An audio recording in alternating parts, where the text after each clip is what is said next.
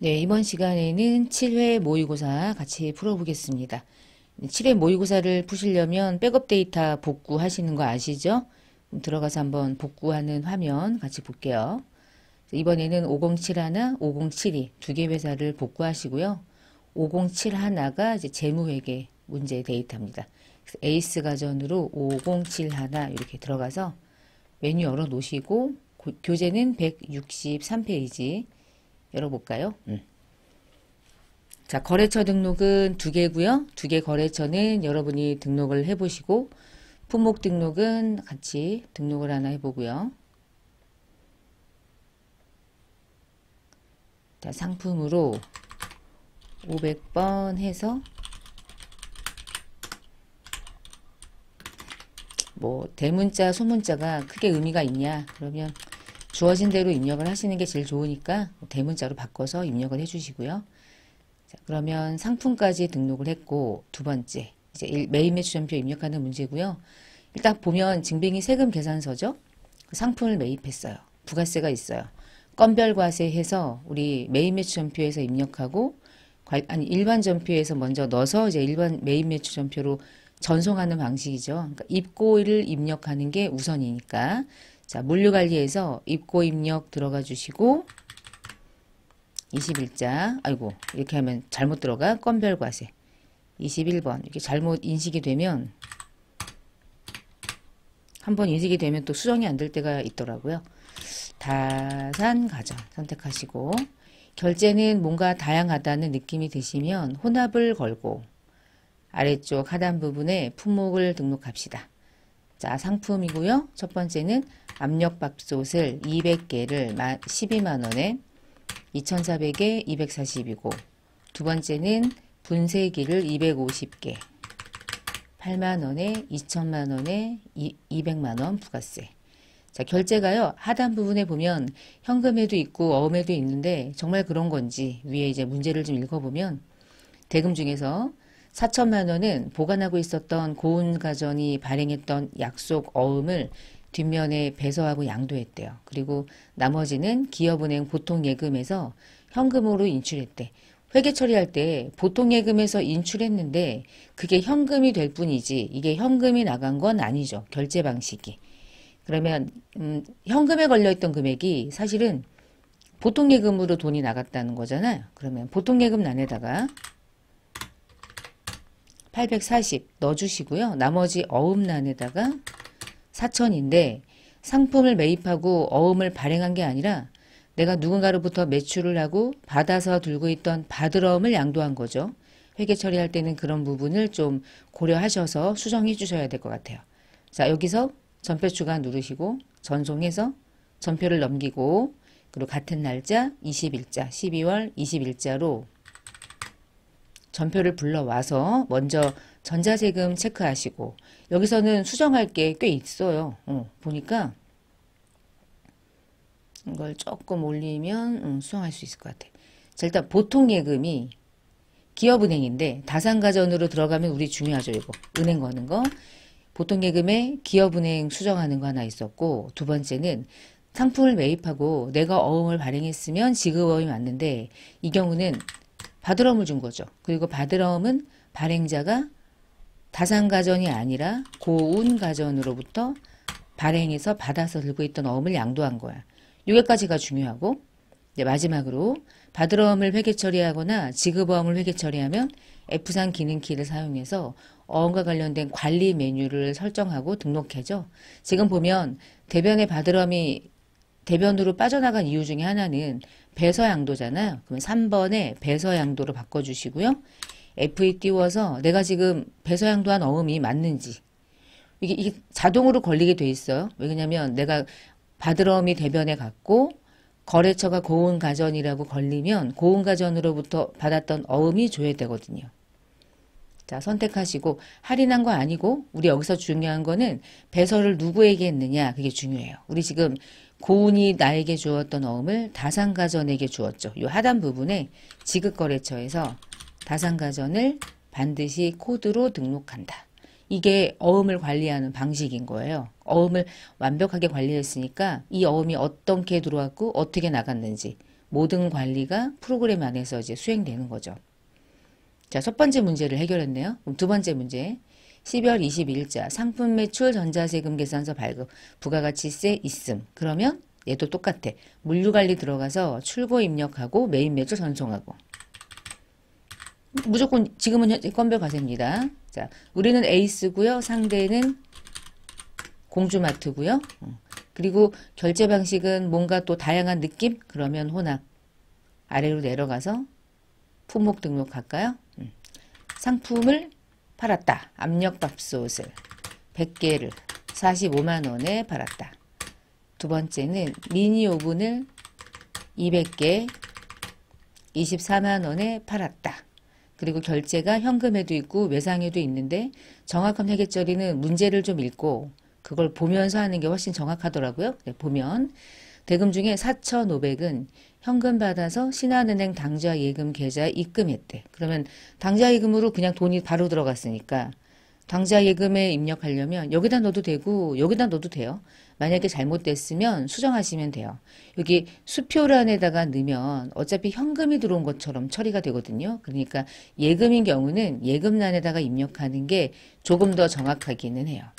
그리고 나머지는 외상이니까 그대로 5,730만 원은 외상 걸려 있는 메뉴를 사용하시고. 자 그러면 잠깐 내려왔다 올라가서 이거 봐 날아갔네 또또 날아갔어. 다시 살았죠 이제? 자 그러면 전표 추가를 누르고 전송을 해서 메인 매출을 22일자 전표로 넘겼는지 확인. 들어왔죠? 자 들어오자마자 전자세금 계산서. 그리고 보세요. 예금에 넣었기 때문에 보통 예금으로 들어왔는데 보통 예금을 우리 바꾸면 되잖아. 당좌 예금으로. 당좌 예금은 신한은행이니까 은행 거래처 바꿔주시고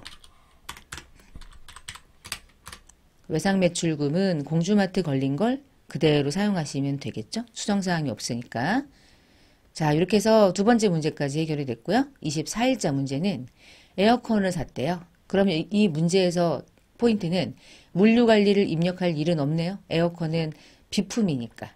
자, 전자세금 계산서를 받았고 결제는 예금으로 결제했고 그리고 이 에어컨은 우리 회사의 비품이니까 아래쪽 하단 내용처럼 유형자산도 등록하고.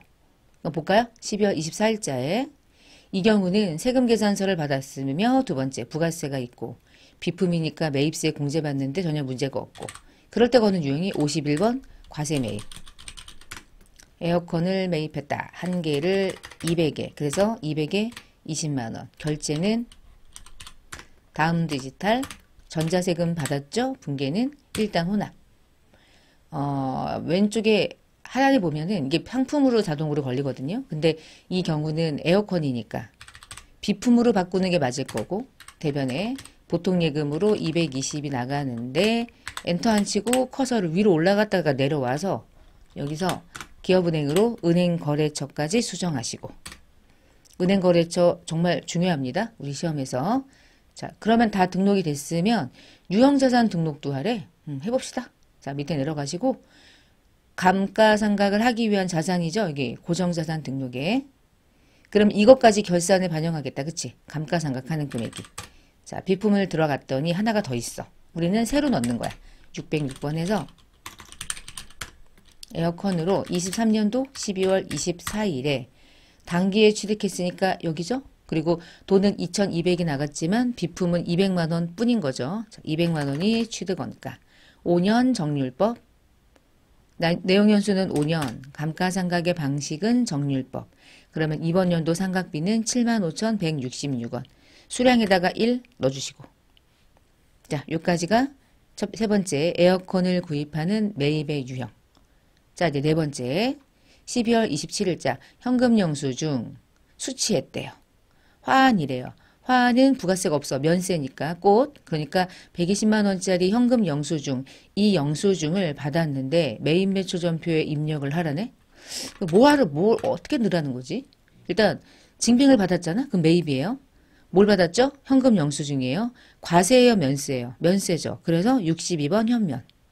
음, 진짜 사실 뭐 품목 대략 환 120만원 거래처는 음, 거래처는 음, 여기 있죠.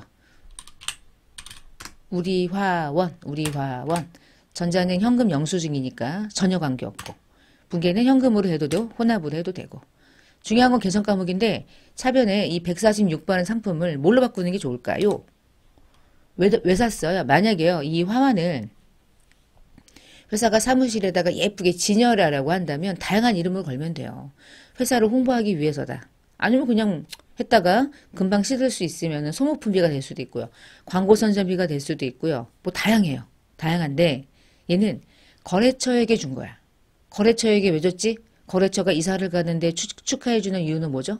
궁극적으로는 접대하는 거죠. 밑밥 까는 거잖아. 그치? 그래서 얘도 접대비. 접대비인데 부가세가 있는 건 아니야. 그냥 꽃을 접대했을 뿐 불공이라는 어떤 해당되는 내용은 이 문제하고 전혀 무관하죠. 불공은 세금 계산서가 있을 때만 불공을 거는 거예요. 이렇게 해서 매입매출이 항상 네 문제씩 이제 23년도 시험으로는 이렇게 출제되는 걸로 공개 모의고사가 있으니까 모의고사마다 이 매입매출표가 네 문제씩 구성이 돼 있잖아요. 그러면 다 풀어봤는데 어느 정도 이제 가닥에 잡힌다. 그러면 이제 마지막으로 총 정리하시면 될 것 같아요. 자, 이제 3번은요. 일반 전표 입력하는 문제입니다. 일반 전표를 열어봅시다. 날짜는 12월 4일자. 상법에서 정하는 절차에 따라 자기 주식을 3천주를 액면은 5천원인데 주당 7천원에 매입했대요. 그리고 결제는 신한은행 당좌예금에서 이체했대요.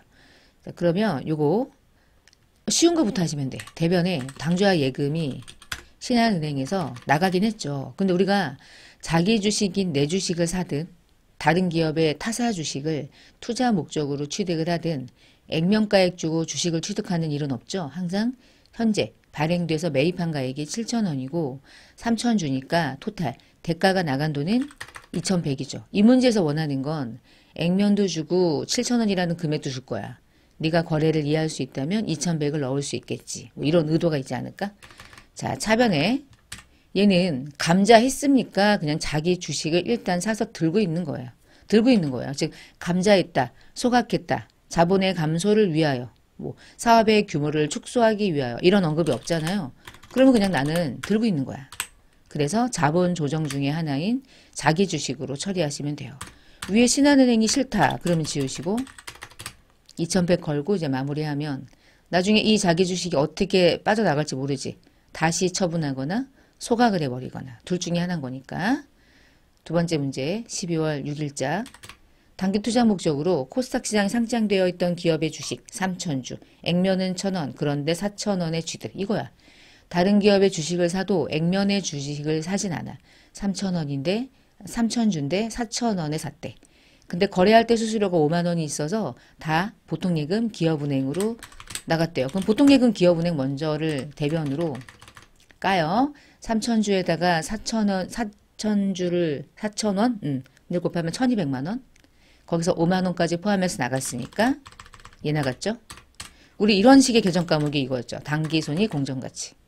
단기 손익으로 분류될 때만 1200만 원이라는 원가만 기재하고 얘를 수수료를 처리하는 경우만 유일하게 또 900번대 영업의 비용이 들어가는 기타 비용으로 들어가는 수수료 비용으로 별도로 처리했던 유일한 계정. 이렇게 처리하시면 되겠습니다. 자, 12월 10일자 지출결의서에 따라서 기업은행 보통예금에서 돈 나갔대요. 돈 나갔다는 얘기잖아요. 자, 그러면 12월 10일자 대변에 얼마 나갔는지 보이죠 지금 602만 원 그러면 먼저 걸어요 이렇게 쉬운 것부터 대변의 기업은행으로 돈 나갔다. 왜 나갔지? 소득세 같은 원천 징수했던 돈과 회사가 부담하는 건강보험료 160만 원. 자 여기서 급여를 지급할 때 원천 징수했던 거는 들고 있다가 다 모가 나가는 걸로 처리하면 되냐? 예수금이. 근데 회사가 부담하는 건강보험료는 그러니까 사실은 잘 보시면 요 442만 원 안에는 건강보험료가 160만 원을 회사가 부담한다. 그럼 160만 원은 근로자 본인이 부담하잖아요. 그 본인이 부담하는 건 이미 여기에 있겠죠. 그럼 전부 다 예수금으로 나가는 거고 회사가 부담하는 건강보험료는 근로자를 고용하는 사업주가 부담할 수밖에 없어. 이것을 우리는 회사가 부담하는 건 회사 비용인데 건강보험료는 복리로 떨더라. 그리고 아이고 166만 원은 160만 원의 복리후생비로. 이런 형식의 문제가 원천징수하고 급여가 지급됐을 때 원천징수했던 대가가 이렇게 반반 부담한 형태로 나가는 경우도 좀 나올 수 있죠. 이런 문제를 내기를 좋아하죠. 대부분 출제자들이. 자, 그리고 14일자 대박부동산으로부터 물류창고 부지를 구입하기로 하고 계약금을 보통예금 계좌에서 이체했대요. 2,500 나갔대요. 보통예금 기업은행 지금 또 나갔어. 기업은행 좋아하네. 2,500. 우리 지금 보면 땅 사기 위해서 계약금 줬대요. 선급금 걸어요. 유형자산이에요. 유형자산이죠. 그러면 좋아하는 이름. 건설 중인 자산으로 겁니다. 그리고 얘는 거래처가 있으니까 대박 부동산을 걸어주세요. 걸어야 돼요. 왜냐하면 선급금이라는 계약금의 다른 이름에 불과하고요. 얼마 줬는지를 관리해야 되기 때문에 누구에게 얼마 줬는지 그쵸? 계정도 걸고 거래처도 걸고 5번 문제 12월 21일자 직원 직무 능력 향상을 위해서 외부 강사에게 500을 주고 세금 빼고 현금으로 주었대요. 그러면 직원들에게 우리가 이 비용을 내는 이유는 뭐야? 직원들의 교육 목적이죠. 판관비, 교육훈련비. 원천 징수하고 도는 돈은 44만원. 그리고 대변에 현금. 저도 옛날에 직장생활 아주 초짜로 그러니까 완전히 신규로 처음에 학교 졸업하고 대학 졸업하고 처음에 들어갔을 때 회사에서 막 교육시켜준대. 어, 너무 싫은 거야. 일도 바쁜데 뭐 무슨 교육을 시키겠다는 거야. 나 일 잘하는데 막 이렇게. 근데 아니에요. 교육을 시켜주는 회사는 미래가 음, 밝은 회사예요. 교육을 시켜야 회사도 성장할 수 있거든. 그 근로자들이 성장하는 대로. 근데 교육 같은 거 안 시키고 그냥 그대로 머물러 있는 회사들이 이제 오래 못 가죠. 그래서 이런 교육 훈련비는 나가는 것에 대해서 교육을 받을 때는 좀 스트레스를 받지만 어, 그 좋아요. 업무랑 관련이 있으니까 내 경력도 어느 정도는 계속적으로 경로를 이어갈 수 있고. 자, 이제 네 번째 결산하는 문제인데 1, 2, 3번까지가 이번엔 수동이다. 왜냐면 법인세가 자동 결산에 있어요. 4개를 수동으로 돌릴 수 있는 기쁜 문제네. 자, 12월 31일자로 똑같죠, 이제. 소모품 나왔다. 그러면 미사용액이 95만 원인데 내가 기중에 소모품을 소모품 B로 처리하고 있었는지 소모품으로 처리하고 있는지 모르잖아. 그러니까 어떻게 조회봐야지. 시산표를 열어서 소모만 조회했더니 소모품 B로 300이 걸려 있네요. 그러면 300만 원은 전부 다 비용으로 처리했지만 기말에 가보니까 95만 원은 사용하지 않았다. 비용이 아니다. 이 얘기잖아. 그럼 대변에 소모품비로 걸려있던 300 중에 95만 원은 비용이 아닙니다. 뭡니까? 자산입니다. 나는 소모품입니다. 거는 거죠. 두 번째, 임차료 중에 선급금을 또 잡으래. 그러면 임차료가 걸려 있는지, 선급 비용으로 걸려 있는지 우리 또 확인하러 가야죠. 컨트롤 F 띄우시고 임차료 막 쳐봐. 어, 임차료가 있어. 자, 600만 원이 기간을 봐야 돼요. 지금 600만 원의 임차료가 나간 게 있는데 그 600만 원은 1년 동안인가? 라고 보니까 아, 이 문제는 주의해야 돼. 9월, 10월, 11월, 12월까지는 단기. 그리고 어 1월, 2월까지. 이때까지는 계속 12개월 분에 이랬는데 얘는 6개월 분이에요. 6개월 중에 두 달치만 차기. 6개월 임차료 그치 낼 수 있지. 언제나 12개월치 1년치만 가지고 주고받냐 이건 아니니까. 그럼 임차료 중에서 두 달분에 해당하는 건 200이니까 200만 원의 임차료는 제하고 성급 비용 잡아주세요. 이것은 보험료도 같아요. 그런데 오늘 임차료고 6개월이라는 게 좀 특징이네. 그치? 자 그럼 두 번째. 차변에 성급 비용을 잡는다. 200을. 왜 잡냐? 단기분 임차료가 아니, 아니니까. 두 달치는 차기, 차기 이후에 속하는 임차료니까. 그 다음에 3번 결산일 현재 장기 투자 목적의 주식이 공정가치로 4,200이 있대. 항상 주의할 건 장기 투자 목적의 주식은 기타 포괄이고 기타 포괄은 말 그대로 기타 포괄 손익 누계액으로 걸어놨다가 전년도의 평가 손익이 이번 연도에 평가할 때 영향을 미치죠. 그러니까 요거, 요 문제는 이렇게 심플하게 나와 있지만 심플한 문제가 아닌 거야. 자, 먼저 기타 했더니 기타 포괄 손익 공정가치 측정 금융자산에 4,200만 원으로 걸려 있어요. 맞죠? 그러면 4,700으로 걸려 있는데 이번 연도는 4,200이라네. 그러면 기타 포괄 손익 공정가치를 얼마만큼 대변으로 제거해야 합니까? 500만 원만큼 제거라는 말은 소멸시킨다. 자산을 감소시킨다. 뭐 이런 의미죠. 그럼 얘만 있을까? 기타가 또 있지 않을까? 그치? 전년도에 기타포가 손익 누계액으로 평가 이익이 전년도에 인식한 게 400이 있대요. 그럼 400이 있는데 이번 연도에 자산이 감소됐다고 400만 500만 원을 전부 다 손실을 처리해? 그게 아니라는 거지. 그럼 너 전년도에 평가 이익으로 400 걸어 놓은 거 차변으로 죽여. 죽여. 없애. 그리고 평가 손실은 100만 원만 잡아. 요론회계 처리를 장기 투자 목적이 나오면 항상 이런 패턴의 문제를 물어보는 걸 거야. 의심 먼저 하시고. 그리고 이제 분개하는 거죠.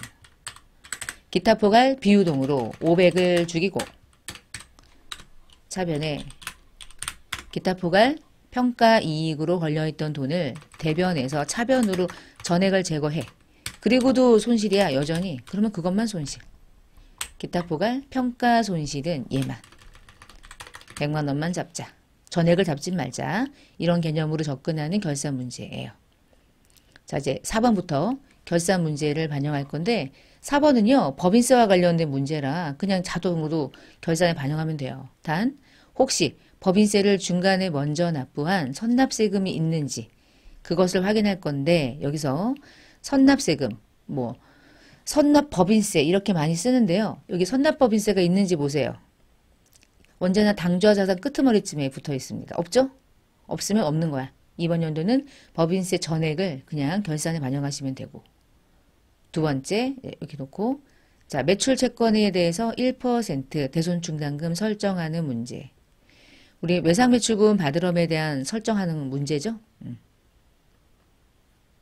이렇게 놓고 이제 외상 매출금 얼마로 채권 잔액이 있냐면 753, 587, 400원 곱하기 1% 하면 753만 5,874원이겠죠? 근데 거기서 358만 7천 원을 차감하면 외상 매출금에 보충할 금액이 나오는 거죠. 해보니까 394만 8천 874원이 나올 거고요.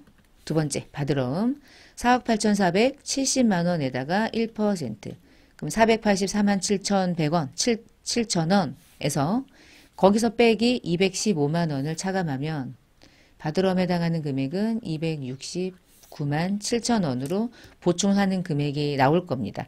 이건 여러분 제가 미리 계산해 놓은 거니까 여러분은 직접 계산을 해보셔야 돼. 계산기로 내가 했고 내가 해봤어. 그러면 자신감이 생기는데 누가 풀어봤던 거를 계속 따라하면은 이게 실력이 잘 안 늘거든요. 자, 그렇게 한번 계산해 보세요. 한번 계산기로 뚫겨 보고.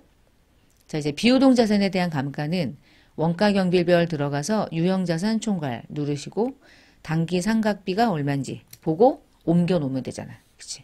진짜 제일 별거 아닌 게 이건 거야.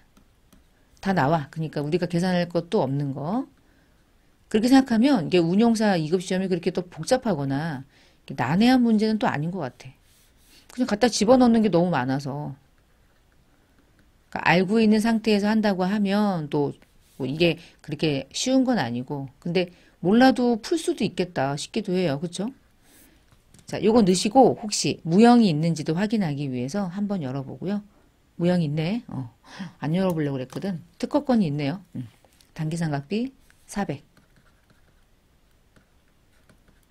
됐어. 그러면 이제 세 번째 우리가 마지막 결산해야 될 건 기말재고 마감.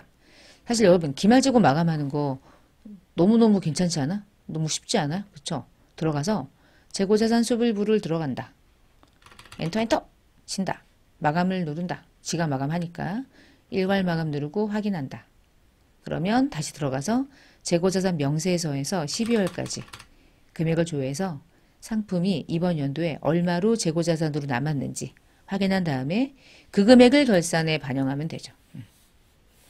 여기다 적을까? 상품은 요거죠, 요거. 205, 211, 150 이렇게 결산이 끝났네요. 자, 그러면 자동 결산에 들어가서 지금 계산된 금액들을 반영하겠습니다. 결산 자료 입력에 엔터 엔터. 괜찮아 엔터. 상품 매출은 입력을 안 해도 되니까. 자 기말 상품 재고액에다 갖다 놓으시고 205 211 150 짠. 넣고 천천히 끌고 내려가서 감가상각. 자 건물 감가상각비 2668만 딴딴딴딴. 차량 운반구 후 880 720짠 비품 10013 866짠 특허권 400. 그 다음 위에 외상 매출금에 대한 보충할 금액 3948874 받으러면 2697000 자 이제 마지막 법인세 법인세는 항상 맨 마지막에 있어요. 미지급 법인세로 자동으로 회계처리를 해줘. 그러니까 미지급 법인세가 계산될 수 있게 먼저 납부한 세금이 없으니까 법인세 토탈 금액인 88을 입력하면 내가 원하는 분계를 프로그램이 완벽하게 수행해 줄 거예요. 자, 입력이 끝나셨으면 전표 추가. 네, 확인. 자, 일반 전표 한번 열어서 조회만 눌러주면 법인세 미지급 잡혔죠. 특허권 죽으면서 무형상각비 걸렸죠. 대손 충당금 걸렸죠. 감가상각 누계액 걸렸죠. 상품이 죽으면서 상품 매출원가 붕괴됐죠. 여기서 한 번 더. 자, 손익을 열고 엔터를 쳐서 당기순이익이 대략 얼마인지 보고 1500 그리고 나서 잉여금 처분 계산서에 1500 넘어 왔는지 확인하시고요. 전표 추가. 자, 1분도 안 걸리죠? 자, 이렇게 해서 결산 마무리 하시고요. 모두 닫기 메뉴 닫아, 닫아주시고 자, 이제부터 이제 주간식이죠. 다 주간식이긴 했는데 지금부터 또 주간식. 이제 장부조회. 1번. 1월부터 6월까지 외상 매출금이 가장 잔액이 큰 거래처 거래처를 물어봤어. 여러분 거래처를 물어보면 그냥 거래처 원장. 자 조건은요. 1월부터 6월까지 외상 매출금 중에 누가 크냐 물어본 거잖아. 누가 큰지 어떻게 알아? 그럼 다 조회해야지. 처음부터 끝까지. 자 처음부터 끝까지 조회하니까 아무리 봐도 앞만 봐도 누가 제일 커요. 얘가 제일 크죠? 어, 아연가전이 제일 커요. 잔액이. 얼마냐? 2억 500만 원. 여기 답. 두 번째. 2월 1일부터 10월, 10월 31일까지 미니 오븐의 매입 수량이 가장 많았던 월. 어, 이거는 미니 오븐이라는 상품 자체에 대해서 관리할 수 있는 메뉴가 물류 관리였잖아요. 그리고 매입이니까 입고잖아요. 근데 어느 달에 가장 많이 컸냐를 물어보면 아래를 보면 다양한 형태를 갈 수 있는데 품목별 구매 현황도 괜찮고요. 구매월도 괜찮고 뭐 다양해요. 구매월을 한번 가볼까? 2월부터 10월 30일까지 입고된 거죠. 그리고 그냥 뭐 거래처는 별로 중요하지 않으니까 그냥 넘어가. 그러면 미니 오븐을 찾아야 돼. 미니 오븐. 이게 일이야. 이렇게 살 수도 있어? 응. 할 수도 있잖아. 그치? 10월에는 20개를 샀고 30개를 샀고 700개를 샀고 근데 이게 너무 수작업이죠. 노가다잖아요. 자 그럼 두 번째. 이렇게 하지 않고 품목별로 미니 오븐을 미니 오븐별로 이렇게 조하면 또 어떨까?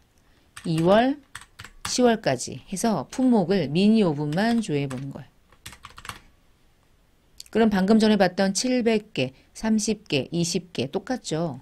어느 달이 가장 커요? 얘가 가장 크죠? 답은 3, 3월. 3월이 제일 크니까 물어본 게 월이었어요. 3월. 이렇게 하셔도 좋고 다양한 장부를 열어서 봤을 때 여러분이 보기가 편한 장부를 쓰시면 돼요. 3번 납부세액을 물어봤다. 무조건 신고서. 1기 확정이다. 4월부터 6월까지. 자, 납부세액을 물어보면 납부세액에 있는 게 답이지 않을까? 그쵸, 이거죠 뭐. 351만 6,400원 하시면 답이 괜찮죠? 부가세 신고서 조회하는 것도 저장하지 않고 그냥 안유하시면 됩니다. 내가 이 메뉴를 저장하려고 들어간 게 아니라 조회하려고 들어간 거니까. 그 다음 네 번째 4월부터 6월까지 현금으로 지출된 판관비? 다시 현금으로 지출된 이걸 어떻게 알아? 뭔지 몰라도 그걸 볼 수 있는 유일한 장부 월계표. 그리고 월계표로 들어가면 4월, 6월 이게 다 된다니까. 그리고 판관비를 찾고 판관비 중에서도 뭐만 찾으래요? 아 가장 많은 월. 월을 비교하는 거야? 에이 그렇게 이게 들어오면 안 돼. 음. 자 우리가 4월부터 6월까지 현금으로 지출된 판관비에 합을 물어보면 이거거든요. 근데 얘는요. 어느 달이 가장 많았니? 아, 그러면 이 월계표에서만 가능하긴 해. 그런데 4, 5, 6을 합을 만들지 말고 별도로 비교를 해야 되잖아. 그 비교는 내가 세 번의 장부를 열어야 돼요. 그래서 하나는 4월부터 4월을 열어서 판관비로 나간 현금으로 나간 금액을 232만 원 요거 적어 놓고 다시 5월부터 5월을 열어서 판관비로 나간 1,568만 3천 원을 적어 놓고 마지막 음, 6, 200이면 뭐 비교할 게 없네요. 1,500만 원이었던 5월이 가장 많았죠? 답은 5, 5월 하시면 돼요. 이해했죠? 이제 5번이네요. 국제회계 기준에 의한 재무상태표를 열어서 유동부채 찾으시오. 뭐 별거 아니잖아. 재무상태표를 연다. 12월까지 줘야 한다. 유동부채를 찾는다. 답은 이거죠. 2120, 501, 780. 6번. 국제회계 기준에 의해서 매출 총 이익 이번 연도 포괄손익계산서를 열고요. 12월까지 조회하신 다음에 매출 총 이익이 여기 있네요. 320, 515, 150원. 요거요. 여기 있죠? 보이시죠? 매출 총이익은 매출액에서 매출원가를 차감한 것을 우리가 매출 총이익이라고 부르죠. 자, 이렇게 해서 장부조회까지 마무리를 했습니다. 그럼 회사를 변경할게요. 어디로 가냐? 맨 마지막으로 고려상사 5072로 들어가시고 자 이번에 원가는 내가 마감하고자 하는 월이 11월이구나. 오케이 11월 1번 작업지시서를 발행합시다.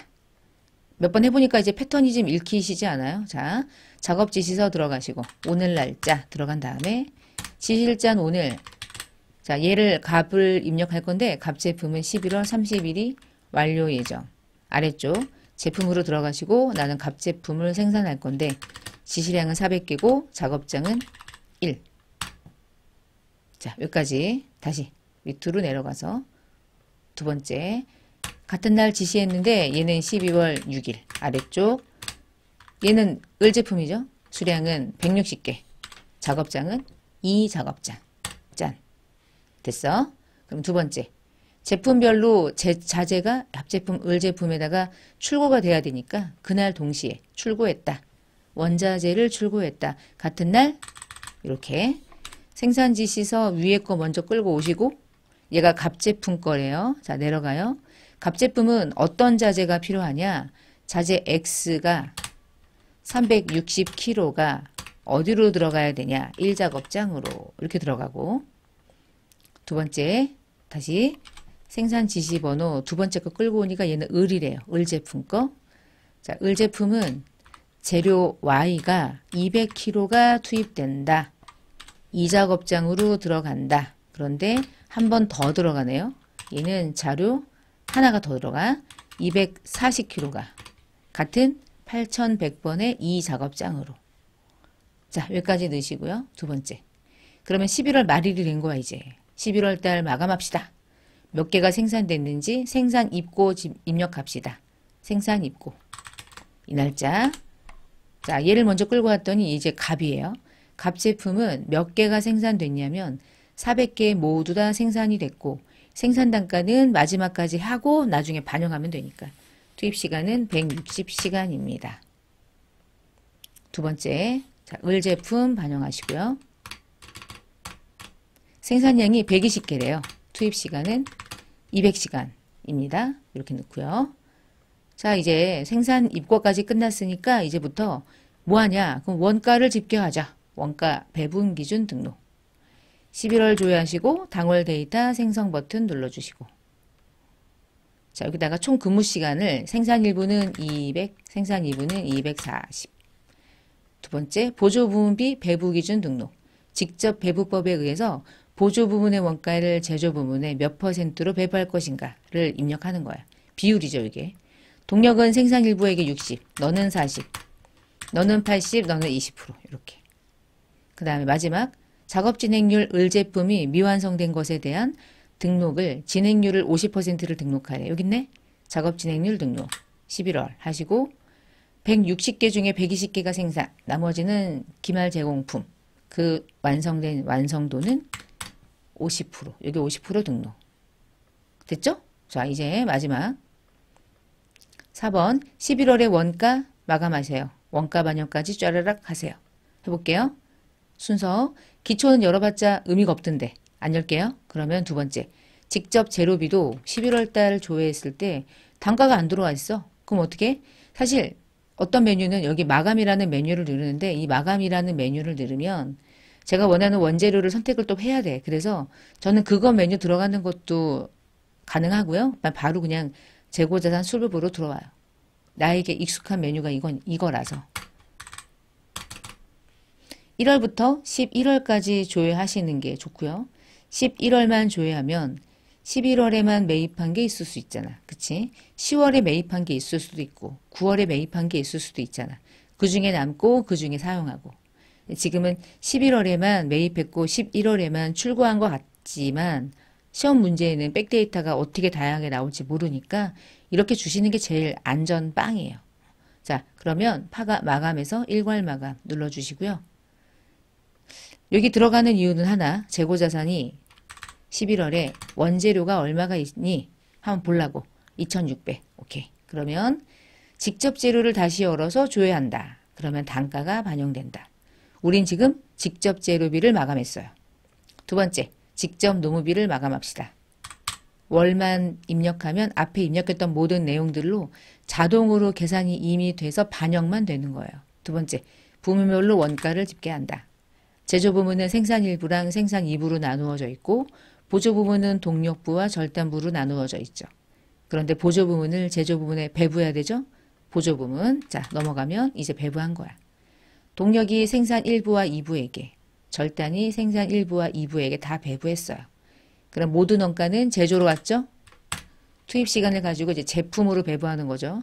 생산 1부는 갑으로 가고 생산 2부는 을로 간다.